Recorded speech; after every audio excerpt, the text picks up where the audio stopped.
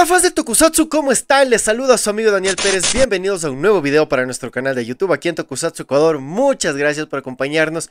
Y el día de hoy tenemos eh, la segunda parte de nuestra saga de videos y vamos a estar hablando de lo mejor de los años 80, así es que vamos a tener cosas súper divertidas del día de hoy y vamos a hacer una linda remembranza de el tokusatsu. Claro que sí. Les recuerdo pues que nos pueden ayudar eh, dando un clic en los anuncios o si es que desean ayudarnos eh, ya directamente pues pueden suscribirse como miembros del canal a partir de 99 centavos.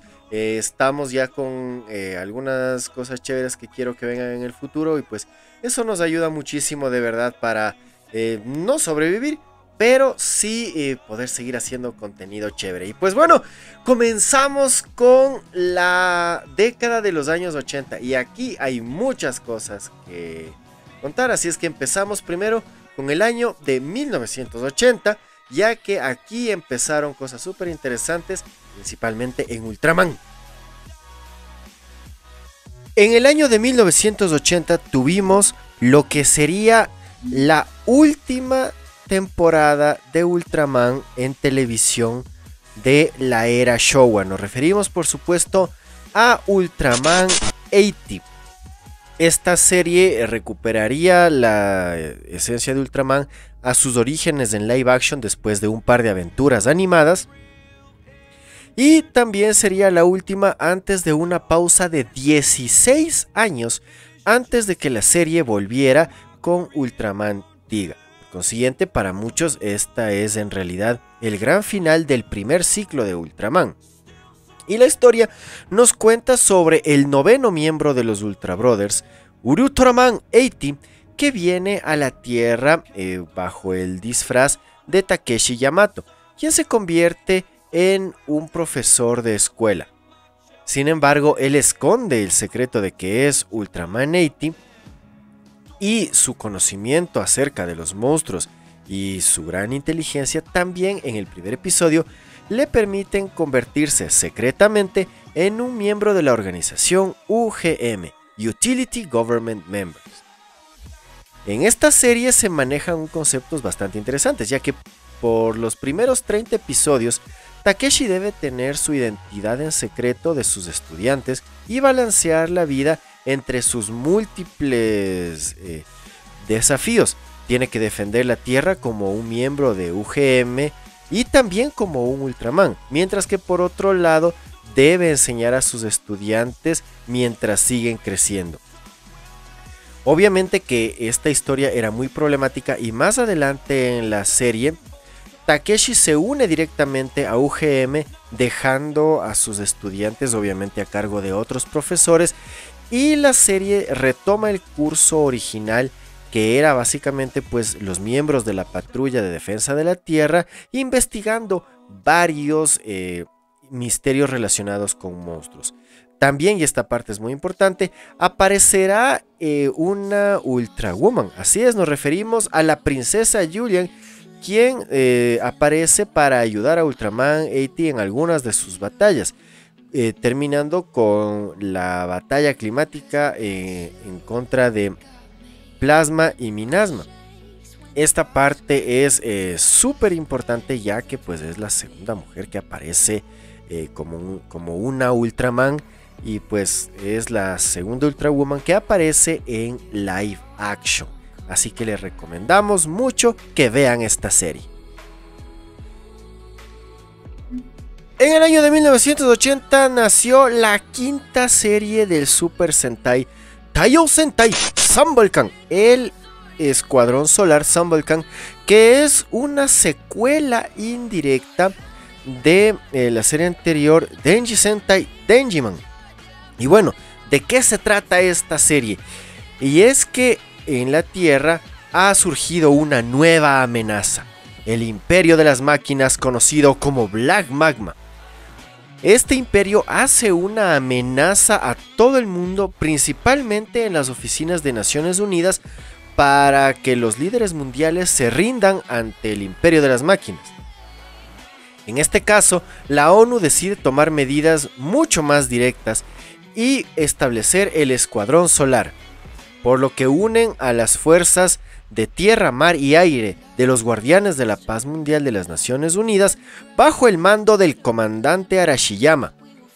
Así es que tres especialistas se reúnen para convertirse en un nuevo escuadrón de combate, Taiyo Sentai Sambalkan, con el poder del aire, mar y tierra, y además es el primer Super Sentai que utiliza temática de animales. El aire es representado por el águila, el mar es representado por el tiburón y la tierra es representado por la pantera. También es el único Super Sentai donde no existen mujeres se transforman en heroínas. Sin embargo, en, el, en esta misma serie sí existen muchas mujeres que a pesar de no tener trajes de colores, también ejercen un papel fundamental en la historia. Cuando Black Magma se entera del escuadrón Sunvolcan ataca la base de los guardianes de la paz mundial, pero Sunvolcan los detiene a tiempo para salvarlo. Sin embargo, ocurre algo mucho más terrible y es que Hel Satan le reza al dios solar negro y es recompensado con la resurrección de la villana de la temporada anterior. Así es, la reina Hedrian, interpretada por la legendaria actriz del Super Sentai eh, Machiko Soga. Ahora es un cyborg con corazón mecánico y nuestros héroes deberán defender la Tierra utilizando el poder del Sol y toda la estrategia militar que poseen. Bueno, y ya tuvimos dos series que de verdad marcaron hitos en la época del Tokusatsu, pero ahora quiero que nos detengamos un ratito en el mágico año de 1982, ya que aquí inició una franquicia que aquí en este canal queremos muchísimo y que tratamos de mantener la vida. Me refiero por supuesto a Metal Hero. Así es que vamos al primer año de Metal Hero y pues disfrutemos de esta hermosa década de los 80. La primera serie de la franquicia de Metal Hero, Uchu Keiji Gavan, estrenada en el año de 1982 y protagonizada por el legendario actor del tokusatsu Kenji Omba, es realmente una joya de las joyas y pues lo que inicia todo este concepto de Metal Hero. Esta serie nos narra las historias de cómo los sheriffs espaciales que tienen su base en el planeta Bird defienden al universo de las fuerzas del mal. En este caso, Don Horror y sus malvados secuaces del Imperio Maku han decidido atacar la Tierra, por lo que los sheriffs espaciales envían a uno de sus más jóvenes cadetes, el sheriff espacial Gavan, para defender este planeta. En este caso, el padre de Gavan era del planeta Bird, pero la madre de Gavan era terrestre. Así es que Gavan es mitad humano, por lo cual él decide ir a salvar el planeta de su madre y finalmente conocer a todos. Cuando llega a la Tierra, se hace amigo de varios niños y se pone a trabajar en el club de equitación Avalon, mientras que ejerce sus actividades secretas como el detective eh, como el policía espacial Gaván, quien en casos de emergencia utiliza su traje de metal gavanizado y en 20 milésimas de segundo se transforma utilizando una armadura de batalla que le permite detener a Don Horror y a todos sus malvados secuaces mientras defiende la Tierra. Ahora hacemos una pausa en la mitad exacta de los años 80, entre lo que fueron los años 1984 1985, ya que aquí tenemos series súper divertidas, no solamente pues en Super Sentai, sino también en Metal Hero, que entró a reemplazar pues prácticamente a Kamen Rider y a Ultraman, pero aún hay cosas chéveres que quiero que ustedes vean y que recordemos. En el año de 1984 se estrenaría una serie que marcó mucho más de lo que se imaginan la historia del Super Sentai. Me refiero por supuesto a Chodenshi Bioman. Esta serie fue transmitida en Europa, fue transmitida en Japón obviamente, pero en Europa tuvo una acogida mucho más increíble y es por eso que incluso algunas otras series han tratado de parecer secuelas de Bioman, como por ejemplo Lyman en, en, Europa, en España, en Francia se la conoce como Bioman 3. Y la historia se trata de que hace muchos, muchos años existía el próspero planeta Bio, también conocido como Biosei, Sin embargo, Biosei es destruido después de que estallara una guerra mundial por el uso de un descubrimiento científico llamado las biopartículas. Ante esta situación, la Alianza por la Paz del planeta Bio, que buscaba usar las biopartículas con propósitos pacíficos, envía al robot gigante llamado Biorobo y a un pequeño robot asistente de nombre Fibo para evitar que la misma tragedia ocurra en la Tierra. Luego de su aterrizaje en Japón en el siglo XV, el Biorobo queda dormido no sin antes impregnar con biopartículas a cinco jóvenes humanos. Cinco siglos más tarde, los descendientes de esos individuos, infusionados con las biopartículas, son los escogidos por Fibo y el Biorobo para que se conviertan en el equipo Bioman y protejan a la Tierra del nuevo Imperio Gear, una organización dirigida por el científico loco llamado Dr. Man. Y así es como empieza la cruzada de los Bioman para defender la Tierra, evitar que sufra el mismo propósito del planeta Biosei y salvar a este precioso mundo mientras aceptan sus destinos que habían sido escritos hace cinco siglos atrás.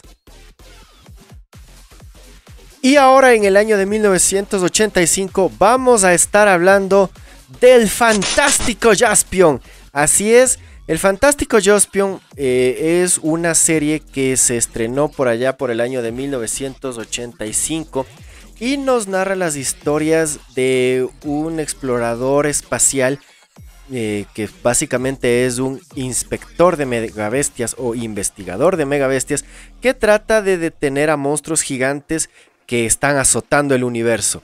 ¿Y qué es lo que ocurre con esto? Pues resulta que existe una predicción en la Biblia Galáctica que indica que el malvado Satan God regresará algún día y aterrorizará al universo con monstruos gigantes. Cuando eso ocurra, nuestro valiente Jaspion deberá abordar su nave de combate el Daileon y, conjuntamente con su asistente cibernética, salvar al universo de las fuerzas del mal utilizando no solamente vehículos de combate especializados y una armadura de metal cristalizado que se pone en su cuerpo, sino que su propia nave espacial se convierte en un robot gigante.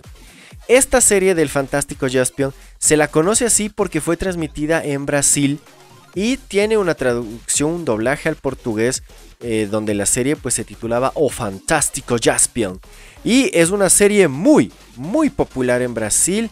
Es un personaje muy querido en esas tierras. Y realmente les recomiendo que vean el Fantástico Jaspion. Porque es una aventura muy entretenida, muy divertida. Y pues presenta un mundo completamente diferente a lo que se conoció en otras temporadas de Metal Hero. Continuamos ahora con el año de 1987 y es que aquí pasaron unas dos series súper, súper interesantes que una de ellas de verdad marcaría la historia de Kamen Rider y pues vamos a verlas a continuación, vamos a ver cómo fue este año de 1987. Como ustedes ven, eh, la década de los 80 fue muy productiva y créanme que vale la pena ponerse a analizar estas series. En el año de 1987, la franquicia de Kamen Rider nos regalaría la que para muchos es una de las joyas supremas en la historia de la franquicia. Kamen Rider Black, con la particularidad de que para esta serie de televisión, Kamen Rider ya era tan famoso que se hizo una audición abierta y el propio maestro Shotaro Ishinomori eligió personalmente al protagonista Existen incluso un pequeño reportaje de cómo se hizo la serie donde entrevistan al maestro Shotaro Ishinomori y donde se ve cómo es el maestro Ishinomori quien anuncia al actor que interpretará a Kotaro Minami en esta temporada. Por consiguiente, es muy querida por los fans. Pero ¿de qué se trata esta serie? Bueno, pues resulta de que dos hermanos son secuestrados por la malvada organización Gorgon en la noche de su 19 cumpleaños. Los hermanastros son Kotaro Minami y Nobuhiko Ezuki, quienes son sometidos a una cirugía cyborg con el propósito de convertirlos en los candidatos para ser los próximos reyes del siglo. Estos son guerreros destinados a superarse en una gran batalla final.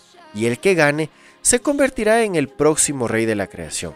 Sin embargo, Kotaro logró escapar antes de que le lavaran el cerebro con la ayuda de su padre adoptivo y decide volverse contra los malvados Gorgon.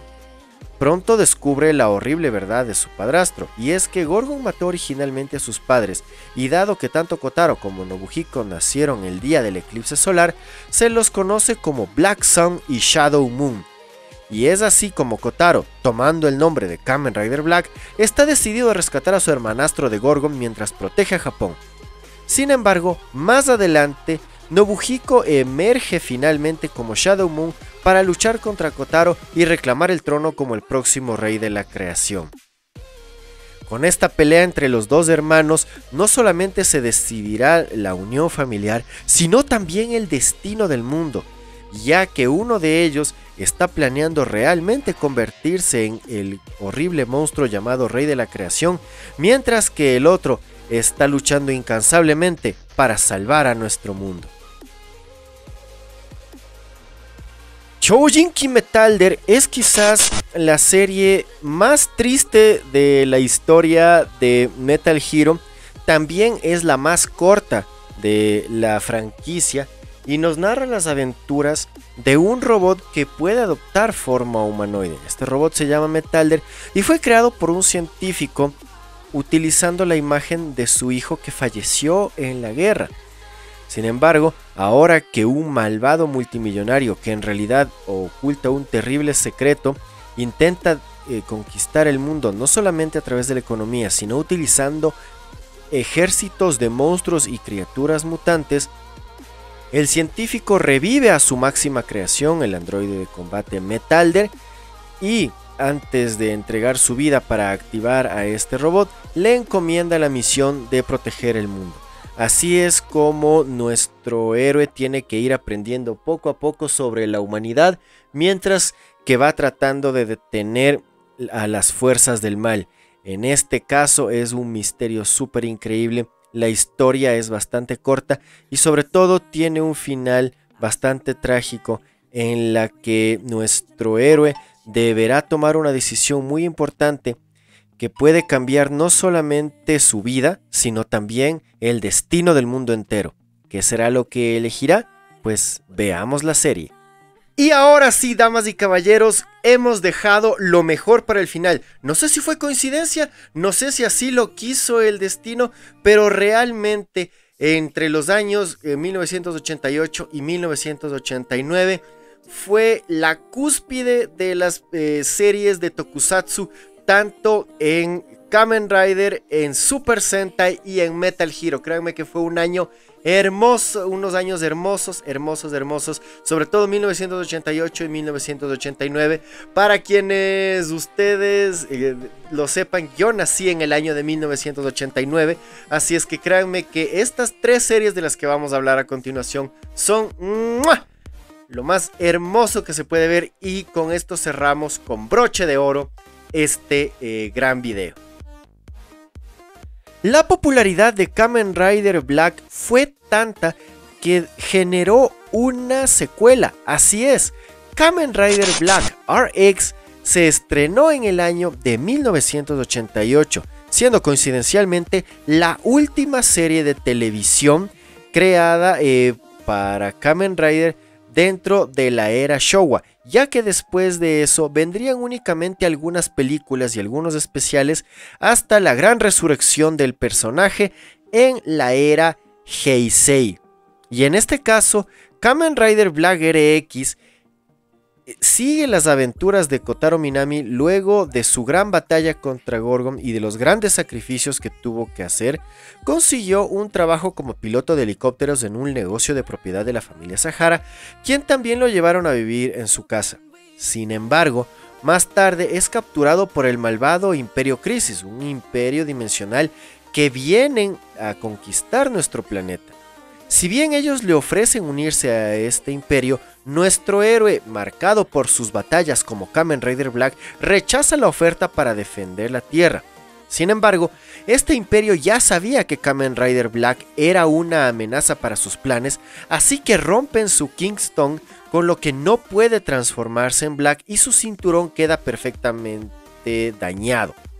En este caso, la última medida es que nuestro héroe es lanzado al espacio exterior para que fallezca congelado.